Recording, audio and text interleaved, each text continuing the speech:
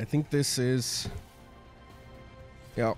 Two years ago, Apex Legends came out of nowhere. And now 100 million players and 17 legends later, it just keeps getting bigger. We've got more modes, more maps, more platforms for play, and of course, more legends. So what's next for Apex? Well, today, we have answers. Ladies and gentlemen, I give to you Apex Legends Emergence. I'll turn up the audio just a little bit. Change. I see it in everything. I see it in a boy rocked by tragedy. Mirage. Transform his pain and defy reality. I see it in the warrior who must choose between their new life and Bloodhound. the of their home. I see it in a girl tortured by revenge, embrace hope when love awakens her heart. I see it in me. A boy born under a bad omen turn his tale into a legend. Hmm. Change is relentless. But that does not mean it cannot be beautiful.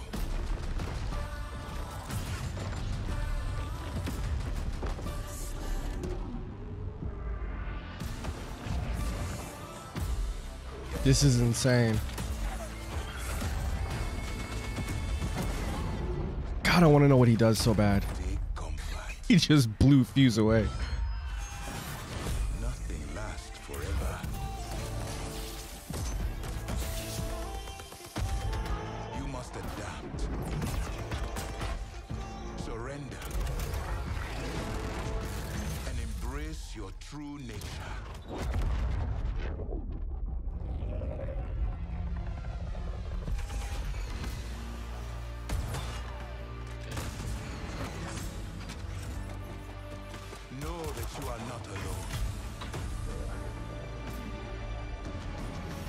Change comes for us all.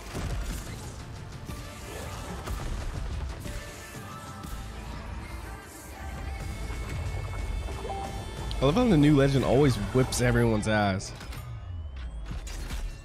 Oh yeah, it's that third my LMG, bro.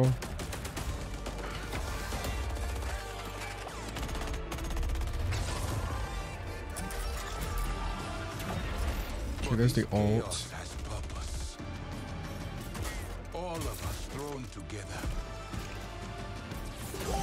So the flame can burn its brightest.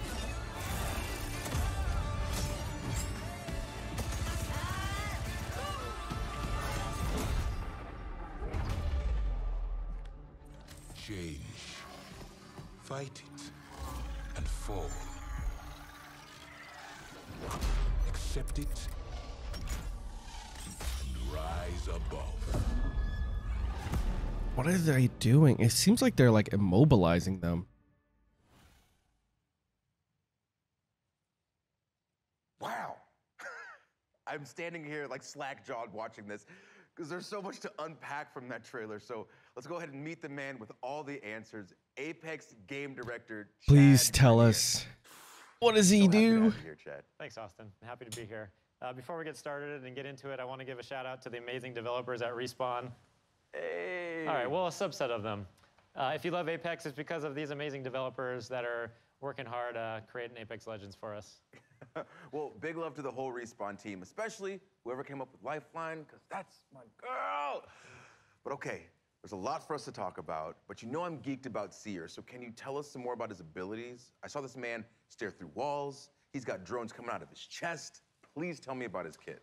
Yeah, similar to Bloodhound, Seer is all about tracking enemies, but in a different way and has a very unique kit. So while you're aiming down the sights, you'll have a heartbeat sensor that will give you hints as to where an enemy might be. If you think Hmm. you located them, you can use your tactical, which sends out some of those drones out of your chest and will actually reveal and track the enemy's location. The ultimate is really powerful, especially in certain gameplay situations. You can send out hundreds of micro drones and create a sphere around an area that you choose, and all enemies that are moving quickly through that space are tracked. I love when there's new abilities. see, that he's like a change the game. better this Bloodhound. Obviously, is always changing, always evolving. I mean, that's there's a new pretty legend, broken, there's always an but- interesting shift in the meta. So, with Hmm. those incredible abilities, how do you think that Seer is going to change the game? Yeah, again, I mentioned Bloodhound also as a tracker, um, but unlike Bloodhound, Seer is about very precise and lingering information. So he's a bit more of a stealth-oriented legend, and you're going to see, I think, some interactions because of that sphere I mentioned, his ultimate. If you're moving quickly through that space, your footsteps are revealed. Ah. But now if you're walking slowly, you can avoid the, the detection. And so I think you'll see some interesting gameplay experiences and new ways to play. Feels like uh, tracker. Slowing it down a bit. Yeah, it sounds like once the ring gets tight, especially, you're gonna have a lot of new ways to play this game. Um, but this past season, for instance, it felt like Apex really moved beyond Battle Royale with the introduction of arenas. So what's the reaction been like for you guys? The fan reaction has been really great. Uh, we're seeing a lot of players enjoy arenas, which is which is awesome. We're really excited to finally have a way to play Apex Legends beyond Battle Royale, and uh, yeah, people are loving it. So we've got new maps in the works, and uh, some other things coming. I don't want to you know talk about just yet, but we've got a lot planned for arenas. All right, fair, fair. Well, I do know that you guys announced ranked arenas are coming as well. So can you give us some information on that? Yep, so we've got one season of arenas under our belts now. We wanted to make sure that uh, we were seeing how players were adapting to the mode. Make sure we get Arena's fun, but I don't balance know how make well, sure uh, the- the how much I'd play it for is ranked. correct. And now we'll be introducing the ranked mode in Emergence. So it's a bit of a different ranked system than we have in, in the Battle Royale mode. So we're really excited for you to get your hands on it. Well, it's really cool to see Apex always doing new things. Like, for instance, uh, leaning into the competitive scene with things like the Apex Legends Global Series. So, are we going to see more of the ALGS? Absolutely. We just ended year one of ALGS. Our championships recently concluded, and it was amazing. There's like so many tactics and amazing plays in there. Many teams were fighting for the championship in the last round. We hit record numbers, so we're really excited in September to be kicking off year two of the LGS. And for the first time, we're going to be inviting PlayStation and Xbox players to compete alongside the PC players, really see who's best. And an Alongside. So um, we have more information at apex.com slash I don't know ALGS. about Well, that. I'm beyond looking forward to it. And, Chad, before you go, I have to ask when can we see more from Seer? We've got an awesome gameplay trailer coming on Monday, and Emergence drops on. August 3rd. And for now, I can show you a finisher. Of course, please, please.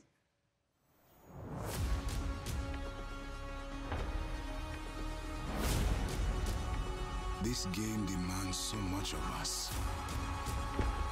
But from you, she demands Oh my god, that was clean. Yeah, clean. that's that's all I need to see. It's just it's so awesome. But Chad, thank you so much for being here. Thanks, Austin. Of course, of course. And again, big shout out to the whole Respawn team.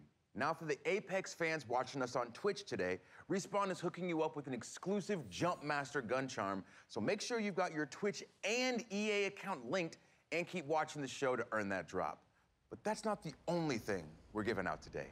Keep an eye out for the hidden letters that spell out a secret phrase because at the end of the show, we'll give you a link where you can enter that code for your chance to win some great prizes, including codes for EA originals like Knockout City and It Takes Two.